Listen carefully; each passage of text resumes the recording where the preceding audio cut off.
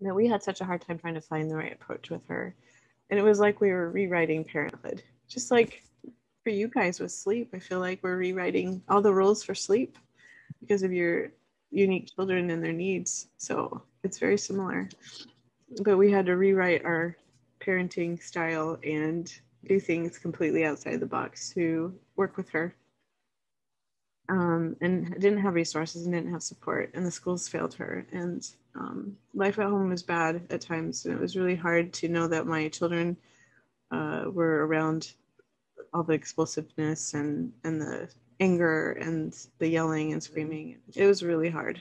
So prayer was extremely important to me over all those years and there was times when i felt very broken and alone and um, the whole time though god was there and he was cradling both of us. He was holding us he was holding our hands he was walking us through it and he's healed my children. He's helped them become healthy and whole.